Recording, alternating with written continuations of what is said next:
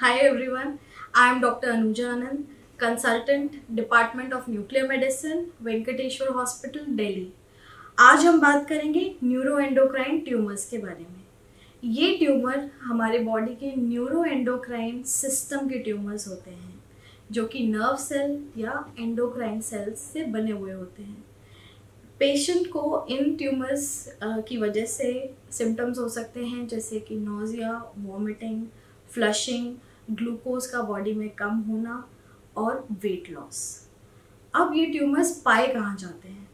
Neuro endocrine tumours ज़्यादातर gastro intestinal tract में पाए जाते हैं, जैसे कि large intestine small intestine appendix फेफड़ों में भी ये ट्यूमर पाया जा सकता है, जिसे कहते हैं कार्सिनॉइड पैंक्रियाटिक ट्यूमर्स भी बहुत कॉमन है.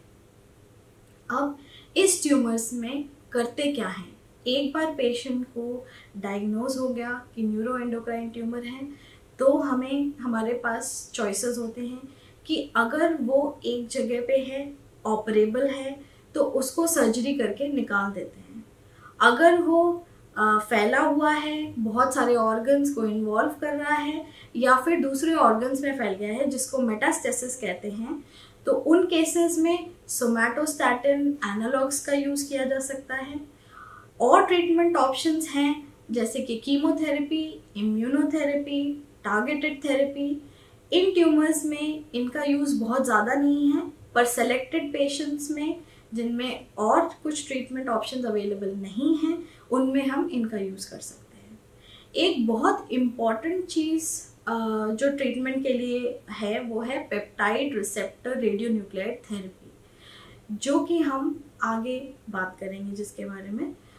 दूसरी चीज़ है लिवर डायरेक्टेड थेरेपीज़ अगर मान लीजिए एक ट्यूमर का प्राइमरी साइट है और लिवर में एक दो मेटास्टेसिस हैं तो उसको रेडियो फ्रीक्वेंसी एब्लेशन से या फिर हिपैटिक आर्टरी इम्बोलाइजेशन से ट्रीट किया जा सकता है। इस केसेस में जैसे कि पेट सीटी बहुत सारे कैंसर्स में यूज़ किया जाता है।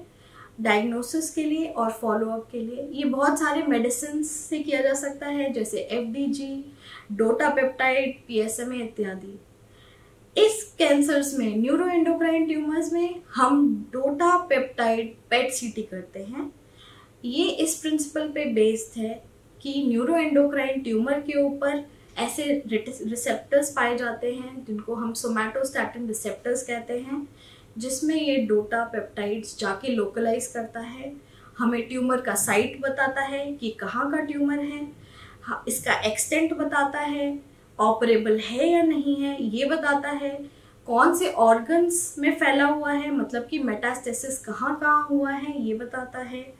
और जिनमें ऑलरेडी डायग्नोस्ड हैं न्यूरो ट्यूमर और वो किसी थेरेपी ले रहे हैं किसी के लिए थेरेपी तो उसमें ये बताता है कि रेजिडुअल ट्यूमर है या फिर रेकरेंस मतलब कि वापस तो नहीं आ गया ट्रीटमेंट के बाद ट्यूमर ट्रीटमेंट इफ़ेक्टिव है प्रोग्रेशन तो नहीं हो रहा।